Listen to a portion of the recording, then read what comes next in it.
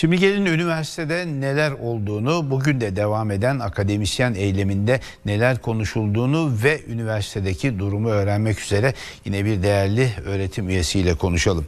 Doçent Doktor Olcay Akyıldız KRT akşam haberlerine katılıyor. Sayın Akyıldız iyi akşamlar efendim, merhabalar. İyi akşamlar, merhaba. Dün konuştuğumuz Sayın Hocamız da Sayın Kolluoğlu'yla e, rektör Sayın Melih Bulu'nun istifaya hiçbir niyeti olmadığını e, konuştuk ve kendisinin gerek akademi camiasıyla yani sizlerle öğretim üyeleriyle gerekse öğrencilerle bir diyalog girişimine niyeti olmadığını anladıklarını söyledi. Dünden bu yana değişen bir manzara var mı? Neler yaşanıyor okulda? E, dünden bugüne değişen bir şey yok. Diyalog kurma anlamında özellikle değişen bir şey yok. E, biz yine üniversite içerisinde e, gerçekleşen bir takım e, atamaların haberlerini e, dün de konuştuğunuz gibi e, doğrudan bilgilendirilmiyoruz bu konuda. E, dışarıdan e, bilgi alıyoruz, sosyal medyadan bilgi alıyoruz. Bunu da açıkçası çok tuhafsıyoruz. E, ya alışık olduğumuz bir yöntem değil. E, Boğaziçi Üniversitesi'nde işler bugüne kadar hiçbir zaman böyle yürümedi. E, bizler çabalarımıza devam ediyoruz. Kampüs içerisinde gerçekleşen e, gerek e, kulüp kapatma olayı olsun hem bunun e, sistemlerini anlatmaya çalışıyoruz. Hem olayın doğrusunu e, aktarmaya çalışıyoruz hem de e, sessiz duruşumuzu bir anlamda e, itirazımızı devam ettiriyoruz. Şimdi bu kulüp ka- kapatma olayı anladığım kadarıyla olayların gelişimi e, sürecinde e, yetkililer tarafından ya da işte emniyet makamları tarafından biraz gerçekler tahrif edilerek yansıtılmış gibi. Ne oldu gerçekten orada hocam? Şimdi e, gerçekler tarif edilme dediğimizde aslında olayın süreci ve sıralamaları açısından e, bence kamuoyunda bir e, bilgi kirliliği var. Belki onu netleştirmek lazım. E, Cuma gece yarısı e, kulüp odasının arandığını biliyoruz. Savcılık emriyle arandığını biliyoruz. E, bununla ilgili zaten hem e, kulüplerle ilgili meseleleri yürüten e, ÖFKK, ÖFKK açıklama yaptı. E, fakat e, asıl mesele... E, bu e, kulüp kapatma kararından sonra olayların çıktığının söylenmesi. Oysa ki kronolojik olarak baktığımızda yazıların saatlerine, tarihlerine bütün bunların örtüşmediğini görüyoruz. Dolayısıyla ortada bir e, bilgi kirliliği var. Bunun da ötesinde e, bir kulübümüzün kapatılması, Boğaziçi Üniversitesi e, kampüsü içerisinde e, faaliyetlerini sürdüren herhangi bir kulübün, bu aday kulüpte olsa e, kapatılması belli süreçler içerisinde gerçekleşiyor. Bunları da tek tek açıkladık. E, bunların hiçbirisi gerçekleşmeden çok emirvaki bir biçimde sadece e, rektörün kararıyla kulübün e, adaylık statüsü e, sona erdirilmiştir. Bunu da hepimiz sonradan öğrendik. E, dolayısıyla üniversitede öğrencilerin kampüsten çıkamadıklarında e, rektörlük etrafında toplandıkları esnada bu bilgi zaten e, kimsede yoktu. Dolayısıyla bu iki olay arasında bir bağlantı yok. Onun da ötesinde yine hep tartıştığımız e, işte sanat eseri üzerinden çıkarılan tartışmanın da e, yine yanlış bir bilgilendirmeyle e, Gül LGBTİ artı kulübünün, çalışmaları kulübünün e, düzenlediği bir faaliyet esnasında gerçekleştiği söyleniyor. Oysa ki e, kulübün gerçekleştiği bir faaliyet değil. Dolayısıyla e, kulübün kapatılması için nasıl bir nedenden söz ediliyor anlamakta e, zorlanıyoruz. Kulüp adası da bir e, yasak yayın bulunduğu söyleniyor. Bununla ilgili de daha fazla bilgimiz yok. Fakat e, yani o kulübü e, iki kulüp ortak kullanıyorlar, e, anahtarı değiştirilmiş. Yani bütün bunların içerisinde biz bir bilgi kirliliği içerisinde hem doğruyu anlamaya hem de kulüplerimizin hakkını savunmaya çalışıyoruz. Evet şimdi hocam tabii ki bu olayların çok küçücük detayları çok önemli gözükmeyebilir ama hani bir bilgi kirliliği yaratmaya ya da bir algı oluşturmaya yönelik resmi açıklamalar gelince insan arkasında tabii ki bir kötü niyet arıyor. Şimdi bir başka olay da çok tartışılıyor. Bu sabah Sayın Rektörün Melih Hoca'nın e, bir anlatımı vardı. Dedi ki pazartesi akşamı rektörlük binasını öğrenciler ablukaya aldılar ve oradaki insanlar ben de dahil çıkamadık dışarıya. Bu da bizim işte e, hareket özgürlüğümüzün engellenmesi anlamına geldi dedi. Yani böyle bir eylem yaptılar dedi. Öğrencilerin versiyonu ise biz Melih Hoca ile görüşme talebinde bulunduk. Onun için kapıda bekliyorduk ama bir türlü çıkıp gelmedi şeklinde. Bir abluka yani Melih Hoca'nın binadan çıkışının engellenmesi gibi bir e, şiddetli bir eylem söz konusu muydu? Siz vakıf mısınız orada olup bitenlere? Ee, ben o anda orada değildim ama buna abluka demezdim. Çünkü her şeyden önce e, öğrenciler zaten kampüs dışına çıkmak üzere hareket ettiler ve kampüs dışına çıkmaları engellendi. Dolayısıyla gidebilecekleri bir yerde yoktu. E, gündüz devam ettirdikleri, e, şenlik şeklinde devam ettirdikleri e, eylemlerine geri dönmüş oldular. O mekana geri dönmüş oldular ve tabii bütün bunların uzantısı olarak da e, Melih Bulu ile görüşmek istediler. Görüşmek istediklerini açıkça belirttiler. Kendisinin dışarı çıkmasını e, istediler. Ben de bunları yani yine uzaktan takip ettim ama olaylar böyle e, gelişti. Rektörlük binasının farklı kapıları var. O farklı kapıların önünde farklı grup öğrenciler vardı ama bu da yine aynı şekilde farklı bir kapıdan çıkar ise eğer Melih Bulu onunla konuşma imkanını kaçırmamak içindi. Dolayısıyla e, bir ablukadan yani zaman zaman arbede yaşanmış olabilir kalabalık içerisinde ama bir ablukadan söz etmek çok mümkün değil.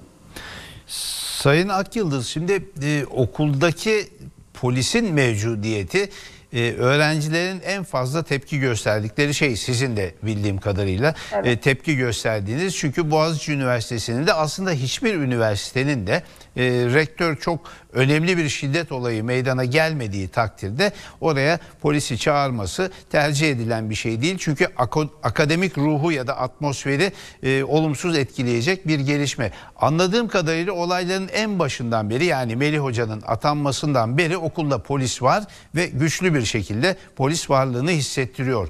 E, bunun e, en azından düzeltilmesi yani polisin belki de sadece kapıda tertibat alması, üniversitenin çevresinde tertibat alması için sizin talepleriniz oldu mu? Melih Hoca buna nasıl cevap veriyor?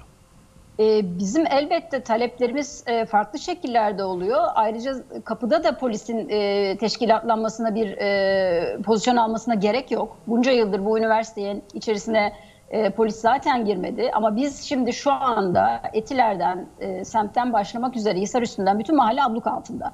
Kampüse giderken e, bunların arasından gidiyoruz. Bunun ne kadar sinir bozucu olduğunu e, tahmin edebilirsiniz. Ayrıca ortada bir tehdit varmış gibi bütün bunların arasından geçerek e, kampüse gitmek, e, barışçıl protestoların e, bu şekilde karşılanıyor olması e, son derece rahatsız edici. Bunu kabul etmiyoruz. Başından beri e, Melih Bulu e, kampüse geldiği günden beri de e, zaman zaman belli kurulları toplamak istediğinde de hocalarımız bu talepleri reddederken açıkça kampüs içerisinde polis olmamasını, çevik kuvvet olabilir, sivil olabilir, hiçbir şekilde polis bulunmaması gerektiği talebini hep ilettiler kendisine.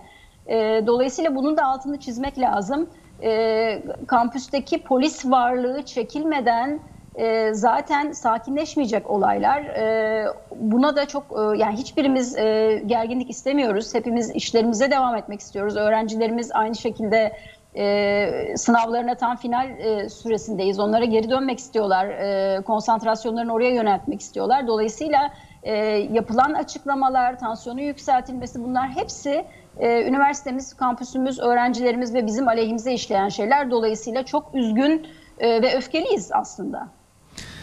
Sayın e, Akyıldız e, yapılan açıklamalarda yani yetkililer tarafından gerek hükümetten işte gerekse emniyet makamlarından e, siyasetçilerden yapılan açıklamalarda öğrencilerle ilgili olarak ısrarla sapkın ve terörist sözcükleri kullanılıyor. Sapkınlık meselesi ayrı bir tartışma konusu ama terörizm anlamına gelebilecek yani yakma, yıkma, e, camları kırma, bir tarafları tahrip etme, e, ateşe verme ya da birilerine şiddet, darp uygulama şeklinde bir olaya tanık oldunuz mu? Terörizm tanımına gire- girebilecek bir eylem öğrenciler gerçekleştirdi mi? Okulda ya da çevresinde?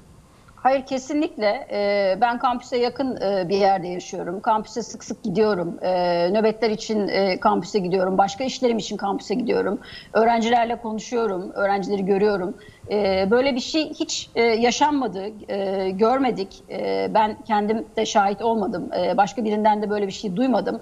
Fakat böyle tanımlamalar e, çok kolay yapılabiliyor. Yani e, bu söylemi yaratmak, bu algıyı yaratmak, terörist demek, sapkın demek, e, bütün bunlar aslında e, özellikle e, sapkın meselesi ayrı bir konu dedik ama bunlar çok iç içe geçmiş bir şekilde tartışılıyor ve bu e, aslında bir tür e, nefret söylemine giriyor. E, bunu bu şekilde tanımlıyor olmak. E, dolayısıyla e, çok dikkatli olmak lazım. Yani bütün bu e, eğer e, gerilim olmasın istiyor isteniyorsa ki bu söyleniyor. O zaman e, seçilen e, sözcüklere, seçilen kelimelere, sıfatlara, bütün bunlara çok dikkat etmek gerekiyor. Yani e, terörist demekle, e, terörist diye yaftalamakla e, öğrencilerin e, varoluşlarını e, bir anlamda e, yani böyle bir e, kontrol ve kısıt altına alınmış oluyor. Bunu da hiç tasvip etmiyoruz. Peki hocam son olarak buradan çıkışı nasıl görüyorsunuz? Siz mutlaka kendi aranızda akademisyenler olarak e, rutin durum değerlendirmeleri yapıyorsunuz. E, rektör Sayın Bulu ile bir temasa geçemediğinizi anlıyoruz ama bir çıkış yolu olarak ne öngörülüyor öğretim üyeleri arasında ya da sizin şahsi fikriniz ne bu konuda? Ee, Ben tabii şahsi fikrim e, olarak söylesem daha doğru olur. Burada bütün arkadaşlarım adına konuşmam mümkün değil. Ama genel olarak bizim genel temayülümüz gösteriyor ki herkes e, genel zaten e, yöntem olarak karşı olduğumuz atama yöntemiyle gelmiş olan bir rektörün kesinlikle bu görevi devam ettirmemesi yönünde. Dolayısıyla buradan çıkış... Bir şekilde işleyişin eski haline gelmesi ancak e, Melih Bulu'nun istifasıyla e, mümkün olabilecek bir şey. E, ben de onun dışında bir e, öngörüm açıkçası yok. E, bir de tabii şunu da görmek lazım.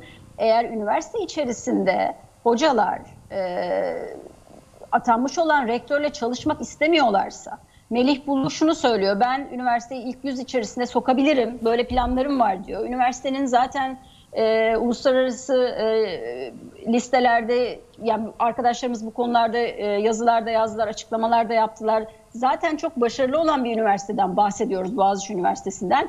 Hadi diyelim ki e, burada da bir ilerleme kaydedelim deniyor. E, o zaman bunu ancak e, bu üniversitenin öğretim üyeleriyle ve onların katılımıyla gerçekleştirmek mümkün. Ve bu üniversitenin öğretim üyeleri şu anda bu yönetimde işbirliği içerisine e, girmiyorlar, girmeyecekler benim gördüğüm kadarıyla. Doçent Doktor Sayın Olcay Akyıldız çok teşekkürler efendim yayınımıza katıldığınız için. Çok Sağ olun. teşekkürler, kolay gelsin. İyi akşamlar.